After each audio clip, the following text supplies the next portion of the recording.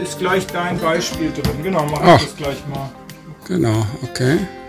Also, Starten. so jetzt, jetzt hat er den Befehl äh, aus äh, Speicherzelle 0 und Mhm. Seite 0 abgefragt. Äh, dir sagt es gar nichts, dieses komische Diagramm. Ne?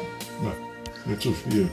Also der hat einen Speicher von 32 Byte, das ist eine 8-Bit-Maschine. Ja. Das sind zwei Bänke, P0 und P1, A16 Worte. Und du kannst praktisch jede Zelle direkt durch Tastendruck abfragen. Und das ist immer der Speicherinhalt. Also das ist so zur Eingabe. Das, da kann ich irgendeine 8-Bit-Zahl eingeben. Ja. Das toggelt immer. Ich kann das löschen. Kann das Pufferregister auch invertieren. Und warte mal, jetzt gehe ich mal auf die Seite 1.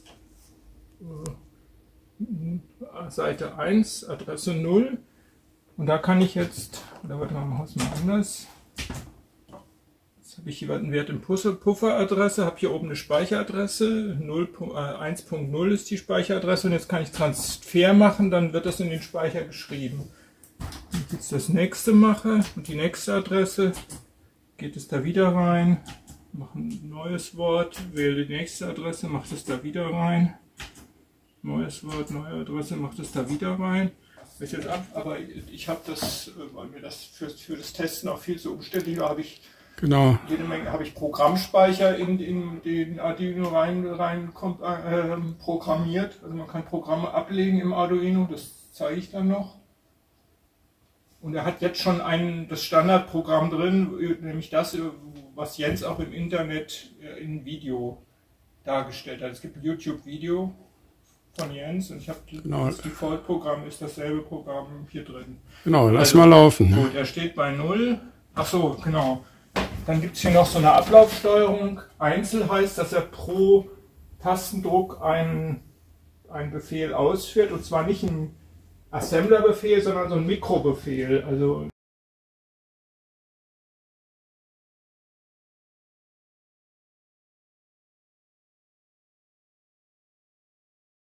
das nächste Serie, da führt er dann pro Tastendruck wirklich den ganzen Assembler-Befehl auf einmal aus, ohne die Funktionen feiner aufzuschlüsseln. Und das dritte ist Dauer. Da läuft er eigentlich wie ein normaler Computer endlos und zwar mit dem Tempo, was über diesen Drehregler da eingestellt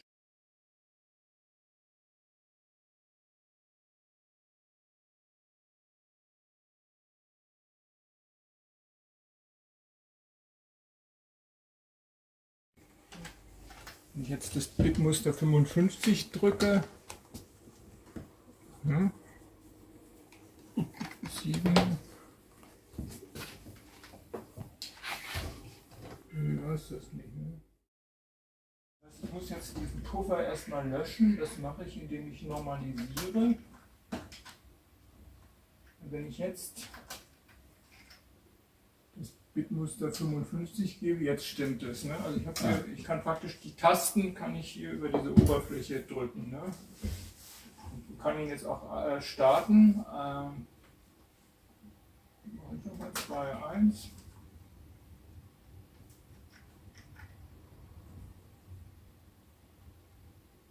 Okay. Ne? Mhm. Das ist jetzt gar nicht jetzt nur so ein Gimmick für mich, sondern es gar, gibt zu dem Ding auch eine sogenannte Lehrerbox. Animation. Passiert da jetzt was? Ach ja, genau, das ist ein Lampentest.